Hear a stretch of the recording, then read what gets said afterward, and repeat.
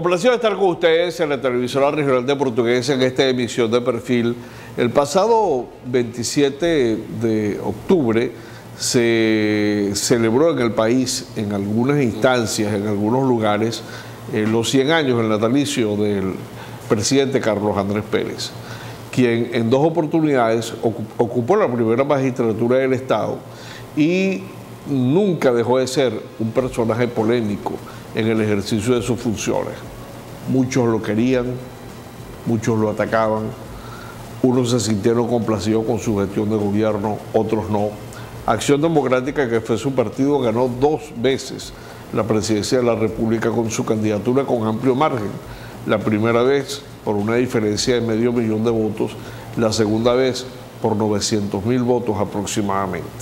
Eso le permitió ejercer el poder con cierta comodidad parlamentaria, pero nunca dejó de ser un flanco de ataque, porque como decíamos, era un personaje polémico que siempre representó una amenaza para algunos sectores políticos en el país, hasta el punto que cuando terminó su primer gobierno tuvo que enfrentar una acusación de corrupción administrativa y en su segundo gobierno no termina el periodo precisamente porque se lo impiden por un juicio que se dio en esa oportunidad, sobre el cual vamos a ver un documental que nos muestra paso a paso estos acontecimientos. Lo importante de este documental, que se llama CAP Dos Intentos, es que allí se precisa en detalle, con imágenes que no se han visto antes, cuando estaba en vida el presidente Pérez, y que lo vamos a disfrutar en dos secciones. Una, este, esta emisión, y otra en la próxima emisión. Adelante.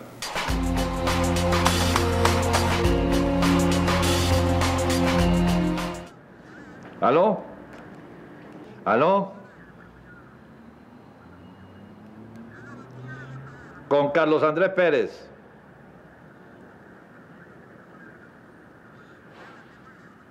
Hay mucho, mucho ruido, mucho ruido, pero oigo. ¿Aló? ¿Aló? ¿Aló, aló? Parece que se cortó la llamada. ¿Aló?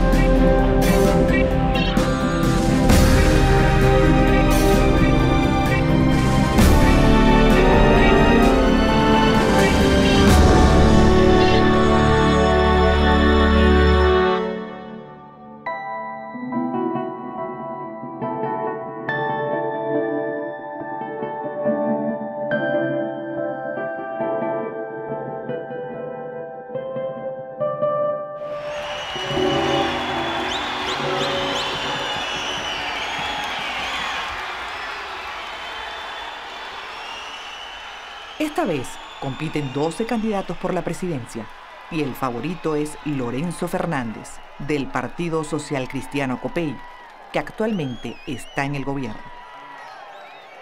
Acción Democrática, de tendencia socialdemócrata, vuelca todos sus esfuerzos en ganar las elecciones y regresar al poder. Cuenta con un polémico candidato. Algunos afirman que realmente nació en Colombia, pero sobre todo hay voces que lo acusan de excesos en su combate contra la guerrilla, que buscaba derrocar al gobierno democrático en los años 60 a través de la lucha armada.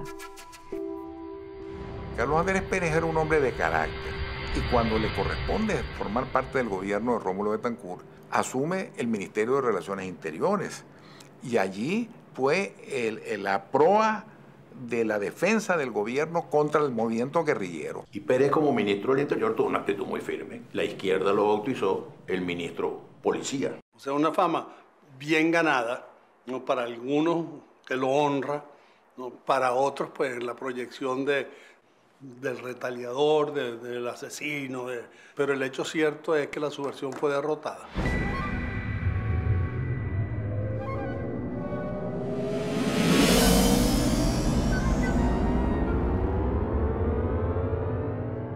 Cuando caminaba empezaron a poner las marcas en el suelo y la oposición, Copey y la izquierda, le ponía al lado de la caminata unos pies con sangre, diciéndole, diciéndole pero es un policía. Militante de Acción Democrática por 30 años y tres veces electo diputado. El caso de Carlos Andrés Pérez, antes ministro, ahora candidato presidencial, amerita llamar a profesionales de la publicidad. La campaña del 73 es la primera campaña que se hace en Venezuela con expertos internacionales de imagen. La gente pensaba que como tener imagen de policía y duro, eso le iba a perjudicar y querían suavizarlo. Eh, nosotros más bien tratamos en la promoción de preservar la figura de Pérez como un hombre firme y fuerte. Es la primera campaña electoral en Venezuela en la que al candidato se le vende como un producto. Ahora, con largas patillas y camisas estampadas, emprende un intenso recorrido del país personificando su lema Democracia con energía. Todo vino de, la campaña fabulosa que desde el punto de vista musical le dirigió, le organizó Chelique Sarabia. Este hombre sí camina, va de frente y da la cara. Hombre pueblo, paso firme y de una sola palabra, que no equivoque camino.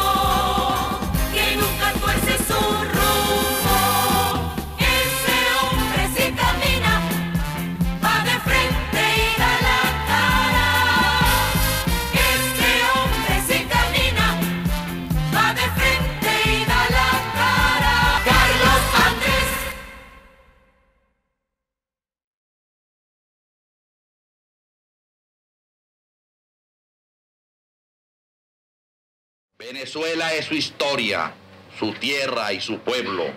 Venezuela es una. Venezolanas, venezolanos, lo convoco a todos, a todos sin excepción, para firmar el gran destino de Venezuela y de América Latina.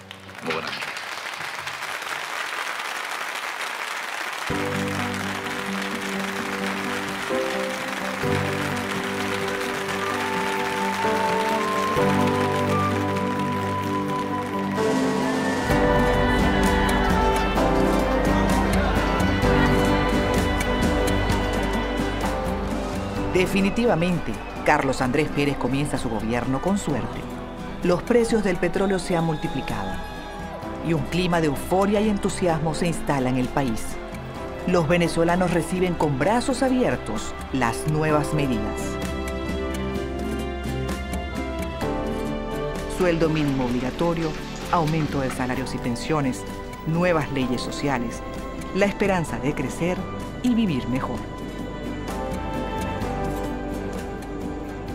A la estructuración de las grandes industrias, se requiere la estructuración de los grandes sindicatos de industria. Trabajadores de Venezuela.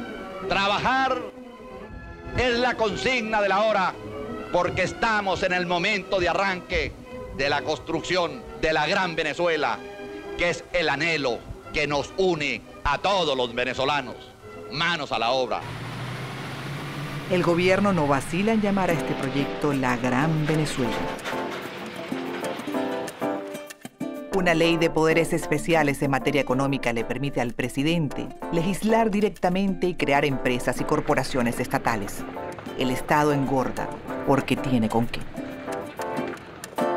Que cualquier indicador que uno escoge eh, para buscar cuál fue el desarrollo humano. En esos momentos Venezuela tuvo tasas de crecimiento que, enormes, o sea que sí se estaba utilizando el eh, petróleo y el dinero del petróleo para hacer que el país progresara. Y cuando llegó Carlos Andrés Pérez a la primera presidencia, eso se potenció porque coincidió con el aumento de los precios del petróleo. Los precios del petróleo en los mercados internacionales dan un brinco impresionante. Pasaron de 2 dólares a 14 dólares. Nunca había ocurrido una cosa parecida en Venezuela.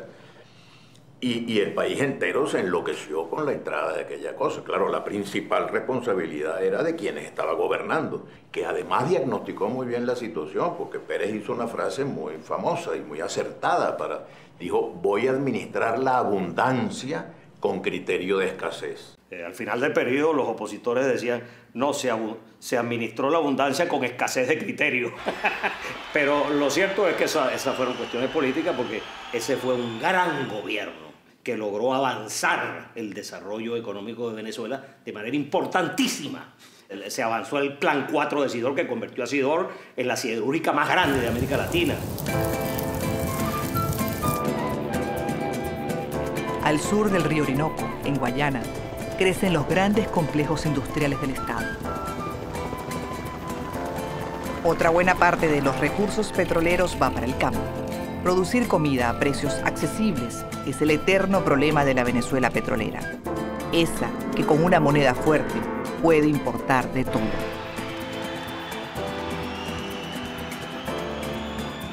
Por eso el gobierno entrega créditos agrícolas, subsidios a los fertilizantes y construye nuevas vías rurales.